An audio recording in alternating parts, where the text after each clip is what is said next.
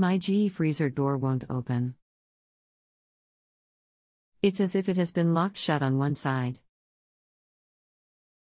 The right side feels like it will open, but the left side is completely tight slash locked.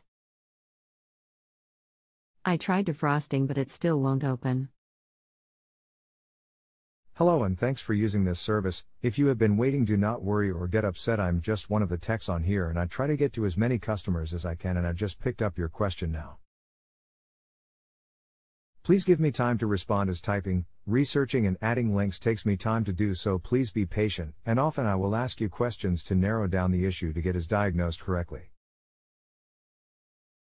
The track rail may be broken. When that happens, the only way is to grab the side of the drawer and pull steady with hard force. It will open, there is just no other way to do it as there is no other access to the rails. If you are not happy with the service, please let me know before leaving a negative rating. This is the only way I am paid or credited through the site for my time.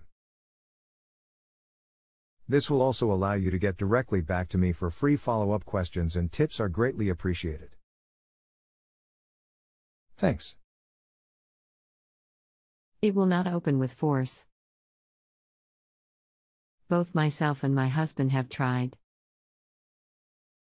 Do you have any other suggestions other than brute force? If you have a home improvement or appliance question and want to chat with an expert now visit justanswer.com/ythi.